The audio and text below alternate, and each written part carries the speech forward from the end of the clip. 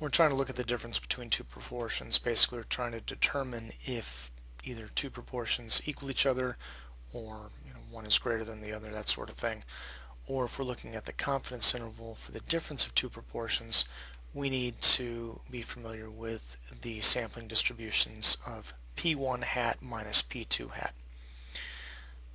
The uh, subscript 1 and or 2 that follows the value will refer to population 1 for 1 and population 2 when you see a 2.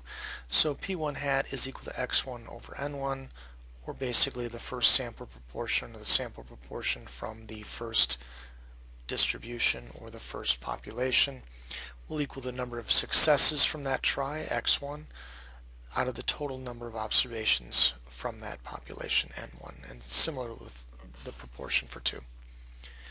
So intuitively we can figure out that the mean mu of p1 hat minus p2 hat should be p1 minus p2.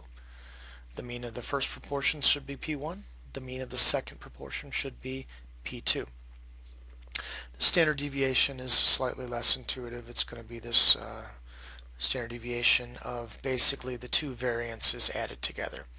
So P1 times Q1 over N1 plus P2 times Q2 over N2. We take the square root of the whole thing to find the standard deviation of P1 hat minus P2 hat. Now P1 hat minus P2 hat will be our point estimator and this big guy right here, the standard deviation of P1 hat minus P2 hat will be our standard deviation. Conditions for both the hypothesis testing and confidence intervals. Certainly we need uh, independent samples. We have to take a random sample from each target population.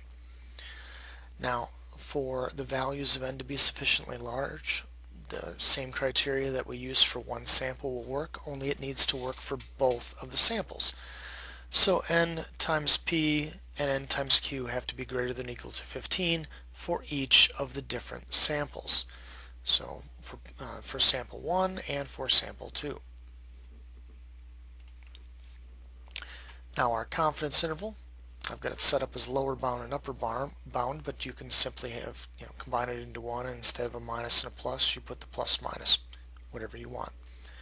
Again, it's our point estimator, so mu of p1 hat minus p2 hat, which is just mu, mu of p1 minus p2, which is p1 hat minus p2 hat.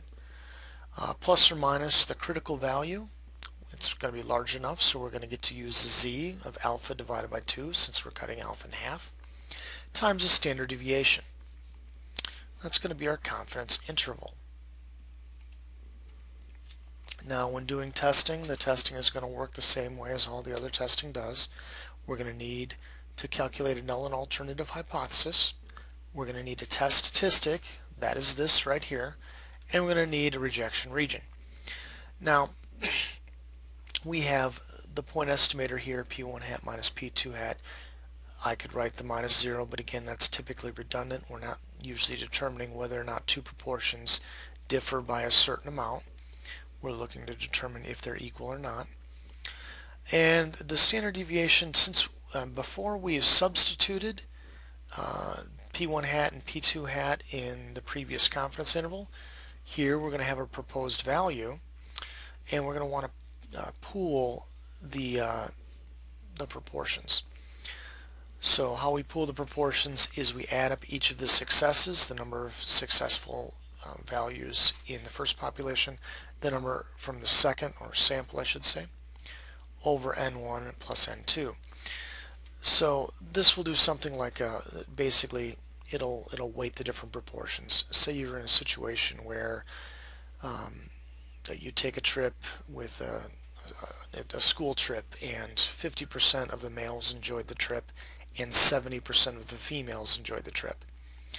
In order to determine what the actual proportion of people uh, enjoyed the trip, you'd need to have the n values for each.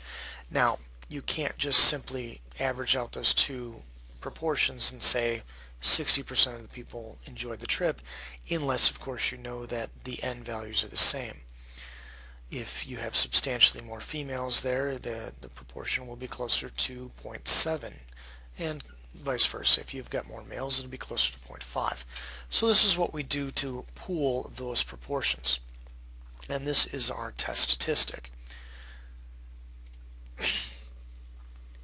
the hypothesis test, they're going to look the same as they have in pretty much every other thing.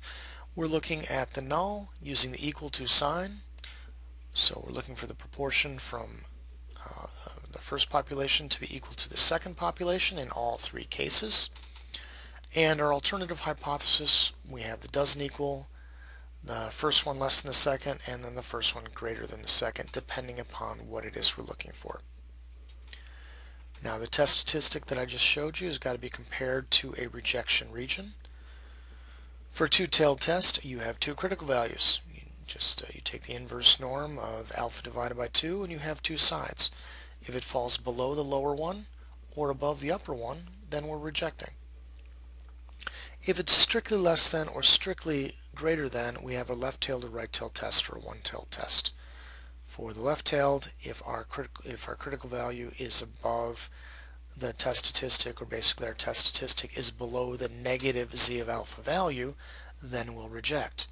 Conversely, for the right tail, if our test statistic is above the critical value z of alpha, we will reject. In all of the cases, we will fail to reject the null. And finally, our p-value method is the same as it always has been. If our p-value is less than or equal to alpha, we will reject the null. If it's greater than alpha, we will fail to reject the null. When you run the test on the calculator, it will give you both the test statistic and the p-value. So you should be able to calculate the conclusion from there.